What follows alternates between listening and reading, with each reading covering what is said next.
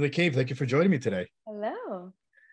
Uh, exciting times. Season three finally here. Superman and Lois. They can see you as Sarah. Cushing. Uh, we've been waiting a lot for season three. I've been starting off these interviews with the Superman Lois and cast. Like it feels like it's been forever.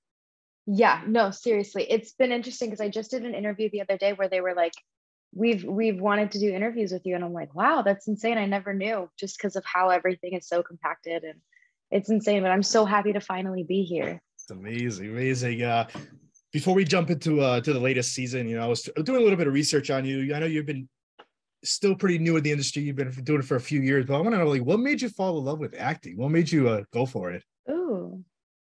You know, I think I've never seen myself doing anything else. So it kind of just turned into following what I already had inside of me. Mm. Um, but I would go to these. I remember, so my mom was a single mom. And so during summertime when she had to work and we weren't in school, um, she put us in this drama camp. And so my older brother went to a science camp and I went to a drama camp. And I just remember having so much fun being able to just let loose all of these emotions. And I remember watching a lot of movies as a kid where she was just, since she was so young, I mean, the movies that I was watching wasn't necessarily kids' movies. It was Gladiator or anything like that. I remember just watching the screen and kind of having this idea that I could do it. And it's really beautiful that I had that idea when I was five, per se. I know that sounds insane, but when kids tell you that they know what they want to do, trust them because they can. What's uh, what's one of the movies that you fell in love with watching with your mom? Oh, I would say Gladiator was one of the first ones that come to mind because it's my earliest memory of a movie. Um, let me think. No, I, I'm I'm gonna stick with Gladiator. I think it's a perfect example of how raw it is in its truth, but also at the same time, it's extremely. Hmm. It's a Gladiator. It's movie. Gladiator. so yeah, I'm stick with Gladiator. Yeah. Amazing. Is there anybody you look up to into the industry that you kind of like try to watch their craft to better yours? Mm. I think a lot of my answers have been an older generation of actors, but I think nowadays I would have to say, um, because I think not a not enough love comes from peer to peer whenever it's our age. Um, but Florence Pugh, I find myself really looking up to. She she's exactly the career that I want to go down, exactly the attitude that I I, I want to have towards this industry. And I think she's just all around beautiful and amazing in the way that she tackles struggles and challenges and just the way that she talks about it afterwards. It's always so positive, And I think that's really important in this industry. So Florence. What's your what's your goal? You think in the industry? What are you kind of hoping for? You because you know you've done the DC world now. You you know you're Mhm. cemented in that. Like what's the what's on the bucket list? Oh, you know Marvel.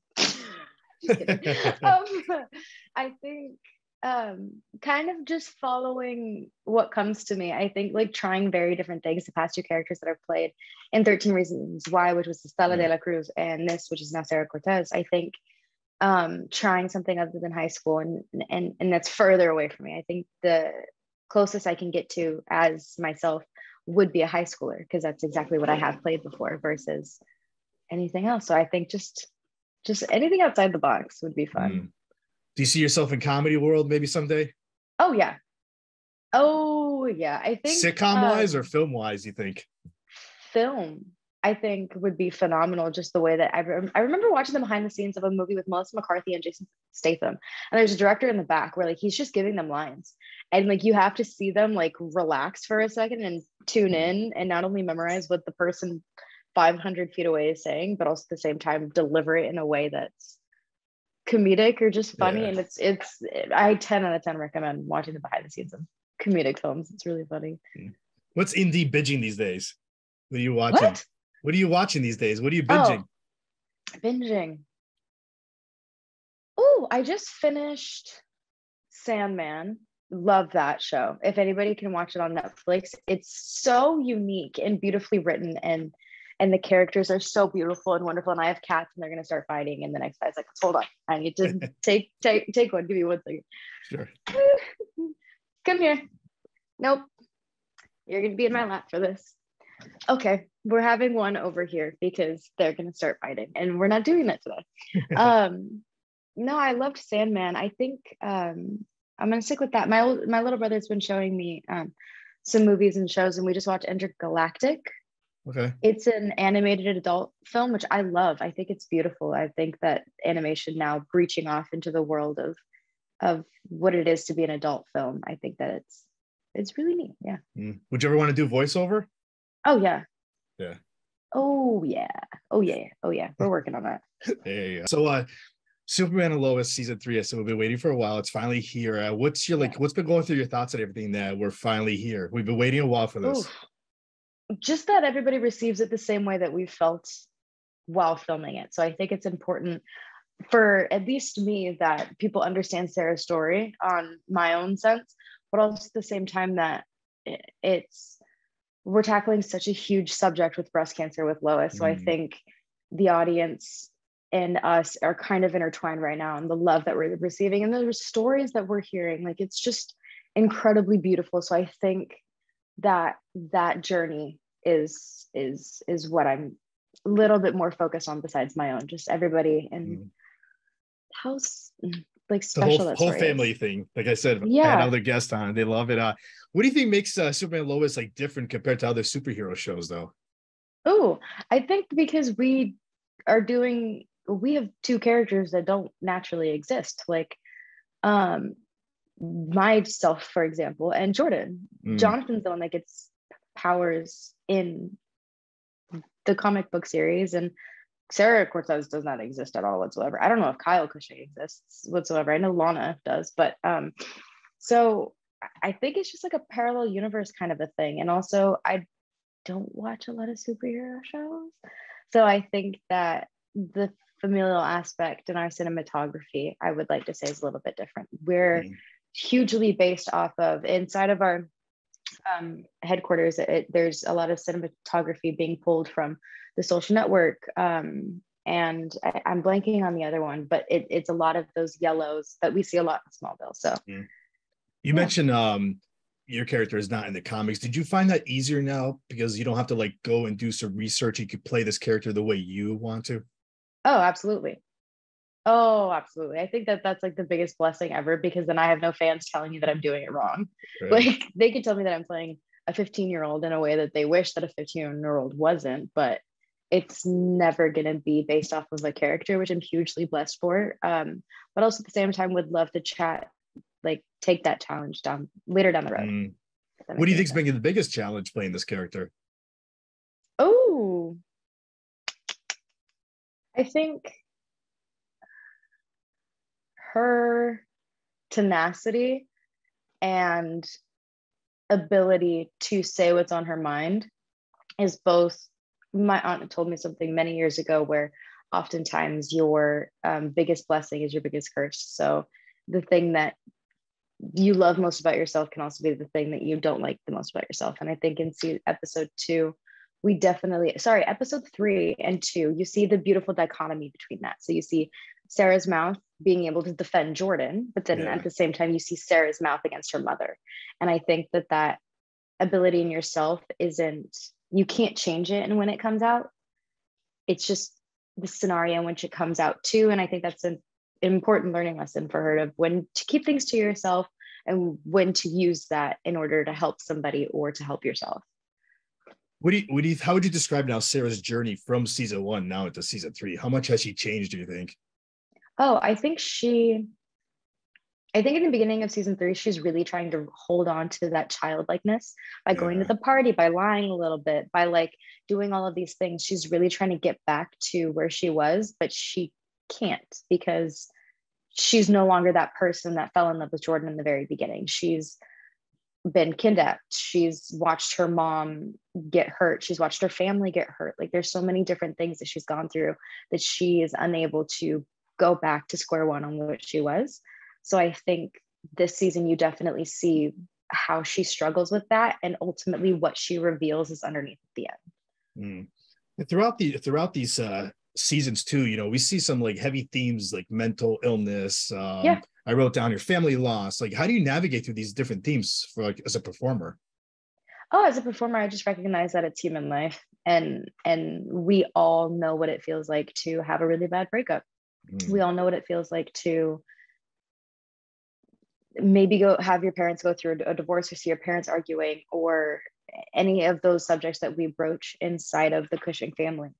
Um, so as a performer, it's just about being authentic in the way that you're playing it. It doesn't have to be true to anything you've experienced or anything that story you've heard, but it's just about in that moment taking Inde out of it and really playing the authenticity of Sarah, which is why I mean, me watching back those scenes and seeing the waves. Lana really slapped me, by the way. Emmanuelle really slapped me. So doing that multiple times in a row and getting the reaction and then seeing, oh, my favorite scene is when me and Erik are in the diner and Sophia's oh, next oh, yeah. to them and they're talking and then all of a sudden Sarah comes up and you just see like she's like in the beginning looking for her dad and then as soon as she sees her dad she just allows it to break down which is a big step forward for Sarah and and Kyle. They they right. did not that relationship at the very beginning was not good because oh yeah of you know and then season two and then now in season three you see a full circle and also what it's like to be a parent.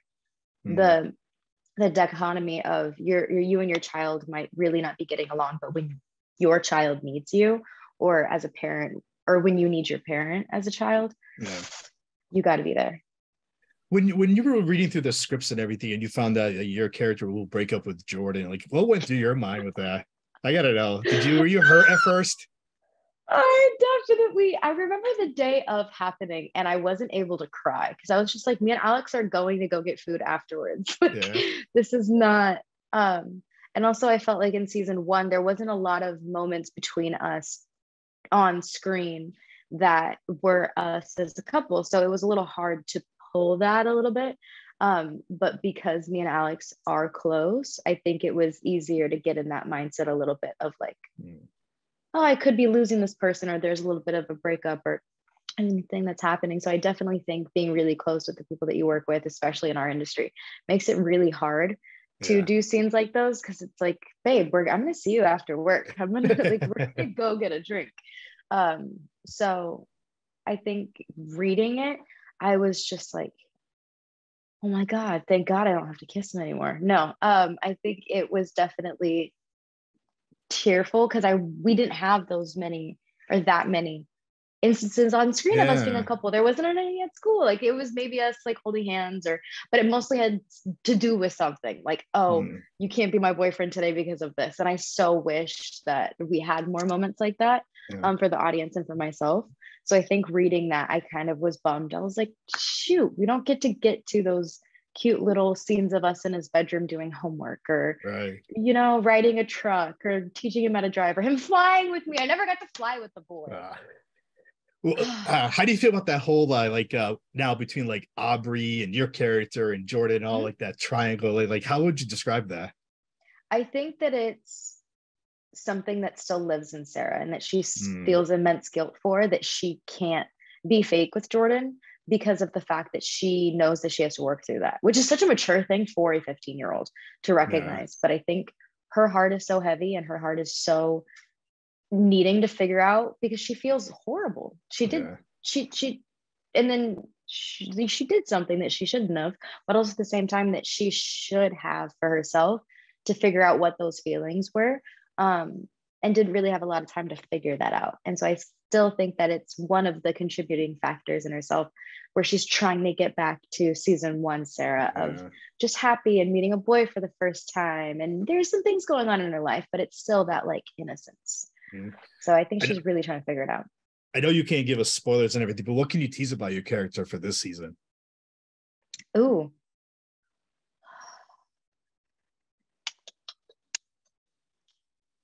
you want to know what's funny? Um, filming for eight months, you forget what happens, and then you rewatch episodes and you yeah. go, "Oh yeah, we filmed that scene."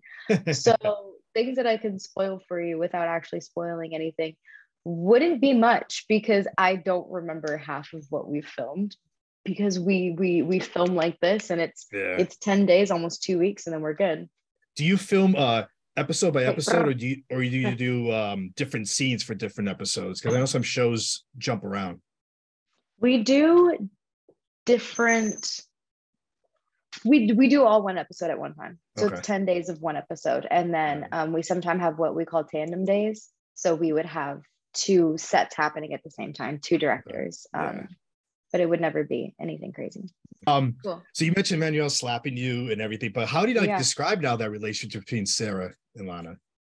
Ah, it the episode ends with the episode ends with Sarah going to Kyle. And mm-hmm. I think there was a beautiful moment between them on the truck, which allowed Sarah to feel comfortable going to Kyle. It's just that moment right before of I can trust you. And also she's keeping this huge secret from them about or from him about John Henry. And it's not about Lana and John Henry, it's about the yeah. fact because it's Superman's secret. Um, so I think there's so many secrets that Lana and Sarah have to keep together. So they will have that bond. But at the same time, there's such a trust that's lost when a parent hits a child. And so it turns into a little bit of a moment where Sarah has to, rightfully so, take time for herself to figure out what she's feeling, where she wants to go from here. And she didn't get to hear the apology that her mother gave. Emmanuelle performs this beautiful monologue at the very end of episode three, where she talks about her mother and how she doesn't want to be like her mother, which is a hint into Lana's life that she grew up with a mother like that and she doesn't mm. at all want to be with a mother like that or be a mother like that. So I think it's really important to recognize that Sarah didn't get to hear that. So Sarah needs an opportunity to hear Lana's side of things in order for that mm. trust to be rebuilt. You mentioned Kyle. I had Erik last mm-hmm. year on the show. He must mm-hmm. be like one of the nicest guys. Oh yeah. Are you kidding me? He was great when I had him on last yeah. year. Amazing. He's, yeah, he's my dad. Yeah. Yeah. What's the best advice he gave you? Oh my God. Again, he's my dad. There's an endless amount of advice that that man mm. has given me. I think more so I need to upkeep the oil on my car is one of the best advices that he's he's taught me for sure. And um just don't date. right? I think I think Erik's too too big nose for me. No, we um there's just I have a whole column of advice that he's given me, but I think keeping oil in my car. If I were to date someone, date someone from like F1, which is Formula One. Yeah. Which oh, we, yeah, we'll watch together every now and again. Yeah, racing cars. It's just me and Erik. That's all we talk about is cars and apparently boys. But mm, there you go. it's yeah. amazing. What do you hope for the audiences will remember the most, like about your performances, if your performance on Superman and Lois? Oh, I just hope that people think it's authentic and that people can relate to it, at least kids my age, or sorry, kids Sarah's age. I just hope that they can recognize and see themselves in it. Also, when it comes to questioning your sexuality or whenever it comes to not doing the right thing, because I think that's something that Sarah struggles. That's something Sarah struggles with a lot is not feeling like she's done the right thing or not doing the right thing in other people's eyes and then dealing with the backlash of that so I, I, I think just being true to yourself whatever mistakes that you make and how to move forward how many uh, episodes are we expecting this season 13 13 that was last year too it's, it's always 13 right no first two seasons we had 15 and then this uh, season we got 13 so uh episode three recently aired so mm-hmm. we have a few few more to go. People are still excited about the series. Now, what's next for you now? Any projects you're allowed to tell us about that you're working on? None that I can tell you about. That's the best you can't. it's always a good thing when you can't tell about. Yeah. Right. Inde, how, how can listeners and viewers find you on social media to keep up with you for future mm-hmm. news? Sorry? So how can the um, listeners and viewers find you on social media to keep up with you for future Ooh, uh, future news? yeah, me on social media. Uh, it's Inde Navarrette, which is N A V A R R E T T E. They're gonna start fighting again. Yep, we might as. Yep, this is gonna. yep, just end it like this. End it with recognizing that they're gonna start fighting again. Perfect. I want to yeah. thank you for giving me.